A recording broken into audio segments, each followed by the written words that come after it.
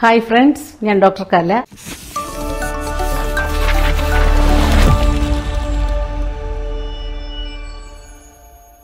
ഇന്ന് ഞാൻ നിങ്ങൾക്ക് പരിചയപ്പെടുത്തുന്നത് ഒരു സ്പെഷ്യൽ കടലക്കറിയാണ്. നാടൻ രീതിയിൽ നമുക്ക് രുചികരമായി എങ്ങനെ തയ്യാറാക്കാമെന്ന് നോക്കാം. കടല നമുക്ക് എല്ലാവർക്കും ഉപയോഗിക്കാൻ പറ്റിയ ഒരു ഭക്ഷണ സാധനം കൊച്ചു കുട്ടികൾ മുതൽ പ്രായമായവരെ വരെ. ഇത് ബ്രേക്ക്ഫാസ്റ്റ് നമുക്ക് പുട്ടിന്റെ കൂടെ വളരെ നല്ലതാണ്. ഒരു ബാലൻസ്ഡ് ഡയറ്റാണ് കടലയിൽ ഇഷ്ടം പോലെ ഫോളേറ്റ്സ് അടങ്ങിയിട്ടുണ്ട്. അതുപോലെ തന്നെ കോപ്പർ മാംഗനീസ് ഫോസ്ഫറസ് അയൺ ഇഷ്ടം പോലെയുണ്ട്. അതുകൊണ്ട് നമുക്കിത് നാടൻ രീതിയിൽ എങ്ങനെയാണ് കുക്ക് ചെയ്തെടുക്കുന്നതെന്ന് നോക്കാം.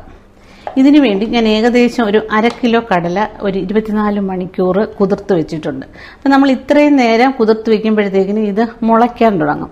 ഇതിലാണ് ഏറ്റവും കൂടുതൽ പോഷകഗുണം വരുന്നത്. പിന്നെ ഞാൻ ഇതിനു വേണ്ടി എടുത്തിട്ടുള്ളത് ഒരു നല്ല ടൊമാറ്റോ സ്ലൈസാക്കി വെച്ചിട്ടുണ്ട്. നല്ലൊരു കപ്പ് തേങ്ങാപ്പാലുണ്ട്. പിന്നെ വലിയൊരു കഷ്ണം ഇഞ്ചി ചതച്ച് വെച്ചിട്ടുണ്ട്. അതുപോലെ ഒരു പത്ത് വെളുത്തുള്ളി അല്ലി ചെറുതായിട്ട് അരിഞ്ഞു വെച്ചിട്ടുണ്ട്. പിന്നെ ഞാൻ ഇതിലധികം മസാല ഉപയോഗിക്കാതെ രണ്ട് സ്റ്റാറുകളും ഒരു നാല് കരയാമ്പൂവും മാത്രമാണ് ചേർത്തിരിക്കുന്നത്. കുറച്ച് ഉപ്പ് വേണം. വലിയൊരു tablespoon Kashmiri chilli powder വേണം. വലിയൊരു ടേബിൾ സ്പൂൺ മല്ലിപ്പൊടി ഒരു ടീസ്പൂൺ മഞ്ഞൾപ്പൊടി ഒരു അര കപ്പ് തേങ്ങാക്കൊത്ത്. അത് നന്നായിട്ട് ചെറുതായിട്ട് അരിഞ്ഞിട്ടുണ്ട്. കാൽ കിലോയോളം ചെറിയ ഉള്ളി അരിഞ്ഞു വെച്ചിട്ടുണ്ട്. പിന്നെ കടുവറക്കാൻ പാകത്തിന് വെളിച്ചെണ്ണ കടുക് കറിവേപ്പില ഏകദേശം കടല വേവിച്ചെടുക്കാൻ വേണ്ടി ഒന്നര കപ്പ് വെള്ളം. നമുക്ക് നമ്മുടെ കടലക്കറി ഉണ്ടാക്കാൻ വേണ്ടി ചട്ടി വെച്ച് കൊടുത്ത് ആദ്യം നമുക്ക് ഉള്ളി വഴറ്റിയെടുക്കാം. നന്നായിട്ട് ചൂടായിട്ടുണ്ട്. ഇതിലേക്ക് നമുക്ക് ഏകദേശം ഒരു ടേബിൾ സ്പൂൺ വെളിച്ചെണ്ണ ഒഴിച്ചു കൊടുക്കാം. ഒരു ടീസ്പൂൺ കടുക്.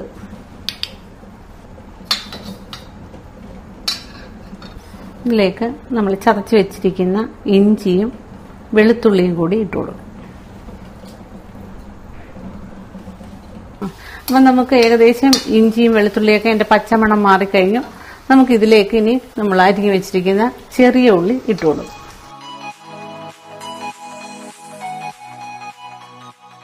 പെട്ടെന്ന് വഴണ്ട് കിട്ടാനായിട്ട് നമുക്ക് കുറച്ച് ഉപ്പും കൂടി ഇതിൽ ചേർത്ത് കൊടുക്കാം.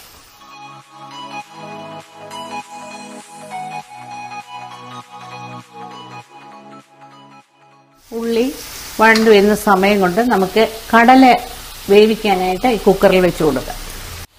ഇതിലേക്ക് ഏകദേശം ഒന്നര കപ്പ് വെള്ളം ഒഴിച്ചു കൊടുക്കുക.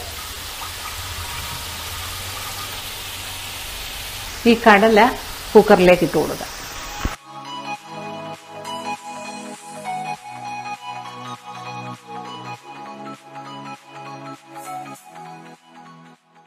നമുക്ക് ഈ ഗ്രാമ്പൂവും ഈ സ്റ്റാറും കൂടി ഇതിലേക്ക് തേങ്ങാപ്പാലിലേക്ക് ഒന്ന് ക്രഷ് ചെയ്തിട്ട് കൊടുക്കാം.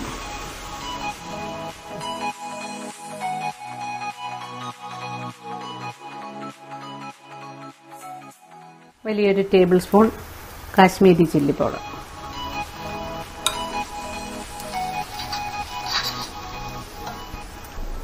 നല്ലൊരു ടേബിൾ സ്പൂൺ മല്ലിപ്പൊടി.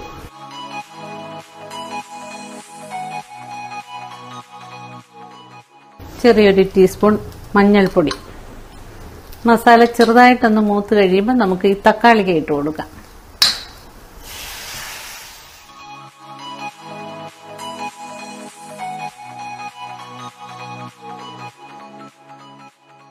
ഈ സമയം കുറച്ച് കറിവേപ്പിലയും കൂടെ ഇട്ട് കൊടുക്കും.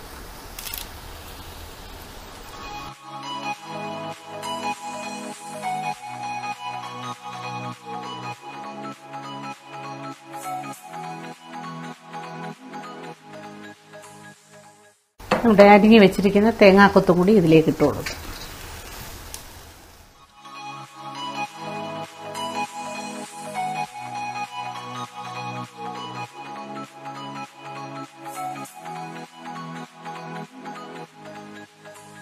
ഏകദേശം എല്ലാം റെഡി ആയിട്ടുണ്ട്. നമുക്കിത് കുക്കറിലേക്ക് കടലയുടെ കൂടെ ചേർത്ത് കൊടുക്കാം.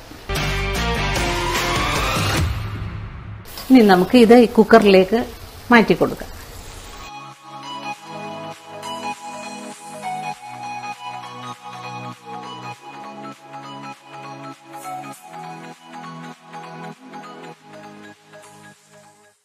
ഏകദേശം ഒരു ടെൻ മിനിറ്റ്സും കൂടെ ആകുമ്പോഴത്തേക്കിന് ഇത് റെഡിയാവും ഒന്നര ടീസ്പൂൺ എണ്ണ ഒഴിച്ചു കൊടുക്കുക. കടുക് ഇട്ട് കൊടുക്കാം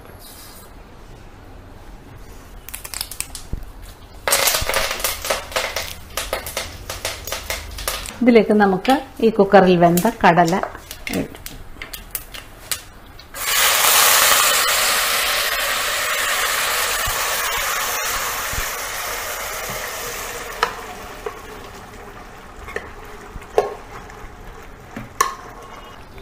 നമുക്കിതൊന്ന് നന്നായി ഇളക്കി കൊടുത്ത ശേഷം നമ്മൾ തയ്യാറാക്കി വെച്ചിരിക്കുന്ന തേങ്ങാപ്പാൽ ഇതിലേക്ക് ഒഴിച്ചു കൊടുക്കാം മസാലയും കൂടി. ഞാനിതിൽ സ്റ്റാറും കര ഗ്രാമ്പുവാണ് ചേർത്ത് കൊടുത്തിരിക്കുന്നത്. നിങ്ങൾക്ക് വേണമെങ്കിൽ ഗരം മസാല പൗഡർ ചേർത്ത് കൊടുക്കാം. കുറച്ചുകൂടെ ടേസ്റ്റി ആയിരിക്കും. കുറച്ചൊരു ഉപ്പിന്റെ കുറവുണ്ട്. നമുക്ക് കുറച്ച് ഉപ്പൂടെ ചേർത്ത് കൊടുക്കാം.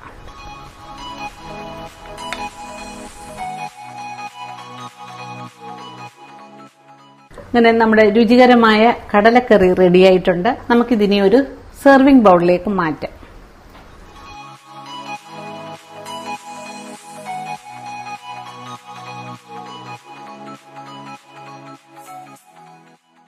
അങ്ങനെ നമ്മുടെ രുചികരമായ കടലക്കറി റെഡിയായി കഴിഞ്ഞിരിക്കുന്നു.